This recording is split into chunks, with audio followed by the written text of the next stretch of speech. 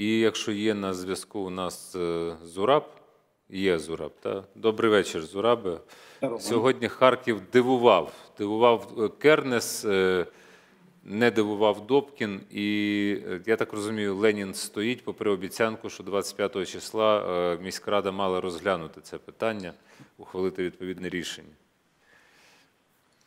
Да, Харьков э, удивляет часто в Украину, и слава богу, не, не всегда это бывает какими-то кровавыми такими событиями, что я слушал э, Крым только что, смотрел Майдан на Громадском.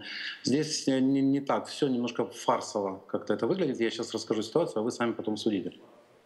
Ну, во-первых, сразу комментарий. Арсен Аваков, видимо, оговорился, сказал, что 21-го Жилин покинул Украину, поскольку 22-го на съезде Жилин все еще выступал. Он был здесь, в Харькове, на в, съезде, в дворце, съе- дворце спорта. А уже, видимо, 22-го вечером покинул вместе с Кернесом и Добкиным э, и потом не вернулся вместе. Вернувшиеся двое э, людей, Кернес и Добкин, немножко изменили ситуацию в Харькове, это факт.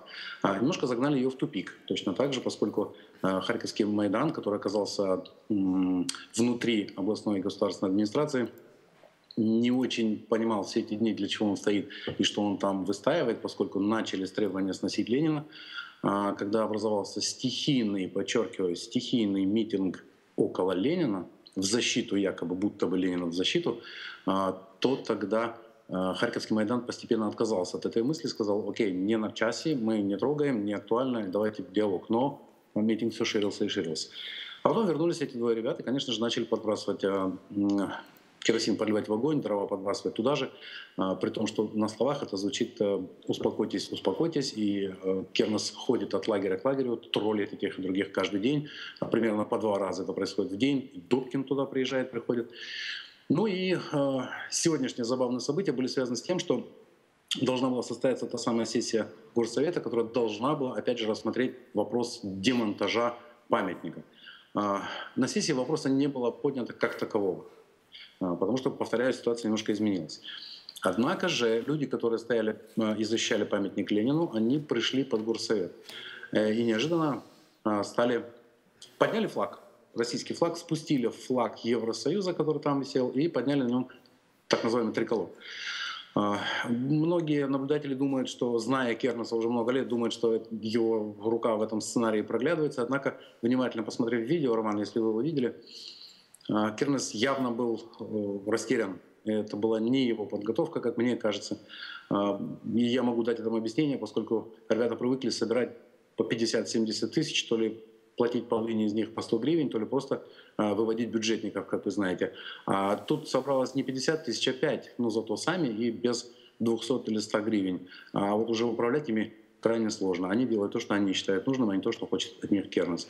Он еле-еле остановил это все, крича при этом это провокация, и никакой федерализации, и он страшно вообще опасается этого слова. Так что в этом смысле Харьков не представляет угрозы для Украины, никакой федерализации здесь нет и речи. Добкин своим заявлением об отставке тоже слегка ситуацию должен был, по идее, прояснить, однако не прояснил. Насколько я знаю ситуацию внутри Харьковского Майдана, который заперся в УГА, а, они уже и ждали уж чего-нибудь, уж какого-нибудь развития ситуации, поскольку само по себе занятие УГА не, не, не несет никакой цели, смысла а, и не имеет конца.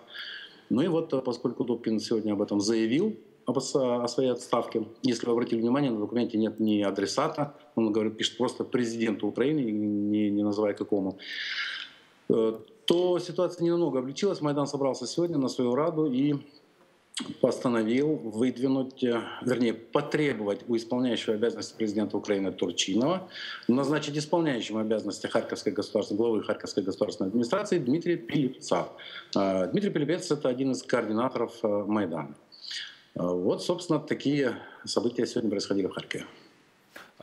Питання таке просте: там не лише Ленін стоїть, а Кернес е, досі ходить з Георгівською стрічкою як ініціатор цього процесу, який він не в змозі зупинити.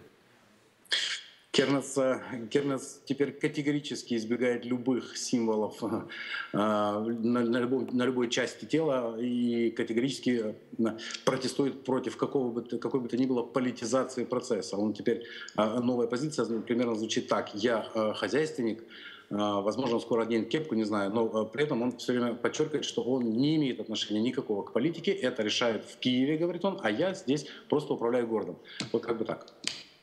Ну так е, ми бачили його з е, мегафоном е, під арешт, там з портретом Януковича. Зараз користується він нагодою, дивлюсь на відео, яке ми показуємо, користується мегафоном людей з георгіївськими стрічками. Але варто пригадати, чи згадують там, він публічно виступає, чи дає інтерв'ю, я не знаю, але чи згадують йому його виступи на програмі Савіка Шустера, там, де він виправдовував демонтаж у варварський спосіб пам'ятної таблички Шевельову і називав його фашистом, і розповідав якісь історичні несенітниці про те, що Шевельов підтримав Гітлера. Чи згадують йому виступ 22 числа, власне, в Харкові з символом радянським, червоною зіркою і цією георгівською стрічкою? Як він себе взагалі почуває, які є настрої? Он, всегда почу- чувствует себя прекрасно, и на самом деле а, мегафон с э, георгиевской ленточкой вовсе не показатель, потому что вчера этот мегафон был точно так же, только с наклейкой Янукович Пидорешт. А, Фотографии есть, в этом ничего такого нет. Кернес э, действует всегда по ситуации и очень хорошо ее чувствует. Насчет того, при- припоминают ли ему, да, припоминают и от людей на площади и на Майдане до э, сетевых э, м, комментаторов. Однако припоминать, Роман, не означает э, судить и доказать. Поэтому, конечно, требует его повесить немедленно, расстрелять прямо сейчас на месте и вообще арестовать, выгнать из города, все что угодно требует. Но действия никакие не предпринимаются ни центральным правительством, ни, разумеется, на местах, поскольку на местах власти, кроме него, э, формально-то и нет. Ага. А по відчуттях тебе, ну ти спостерігаєш за ситуацією в Харкові. е, Які можуть бути найближчі кроки місцевої влади, е, Харківської міської ради? Які рішення можуть бути ухвалені, і чи слід очікувати розв'язання ситуації в певний спосіб, то тоді в який? Я думаю, все керас перепасував. Все действия в области и с властью центральной пере- перепасовал теперь в Киев.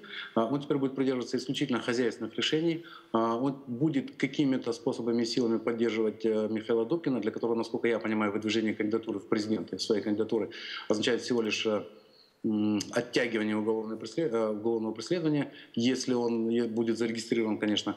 А, Но я думаю, что всерьез играть в эту игру и тратить на нее деньги они тоже не станут, поскольку единый кандидат от партии регионов будет совсем другой, я так думаю. А Кернес теперь уже будет как можно, как можно ласковее управляться с обоими Майданами. С обоими Роман, поскольку такая ситуация ему выгодна, поскольку теперь он является единственным человеком, который, как он себе представляет, может а, успокаивать ситуацию с обеих сторон и держать его под контролем. Именно под таким соусом, я так понимаю, он хочет подать себя э, в Киеве.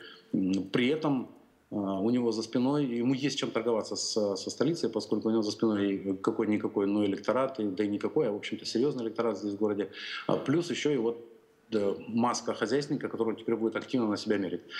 А, Серьезного развития событий в сторону каких-то боевых действий здесь, условных даже, я, честно говоря, не предвижу и думаю, что все, потихонечку пойдет на спад, как только Киев теперь уже очнется и обратит внимание на такие отдаленные регионы с тем, чтобы назначить наконец губернатора или принять требования местного Майдана и подтвердить там передца, то думаю, что такая напряженная ситуация пойдет на спад. Вот тогда Кернес может э, подогревать ее постепенно, чтобы м, ему выгодно теперь сохранять эту ситуацию, вот такую э, м, напряженную в балансе с двумя Майданами, сохранять ситуацию месяца три еще вперед. Так что Дякую Зурабу Оласані за надану інформацію. Е, Нагадаю, про події в Харкові розповідав наш колега е, громадське ТВ Зураб Оласані. Одночасно це і медіапорт, такий інтернет-ресурс є, яким ми користуємося.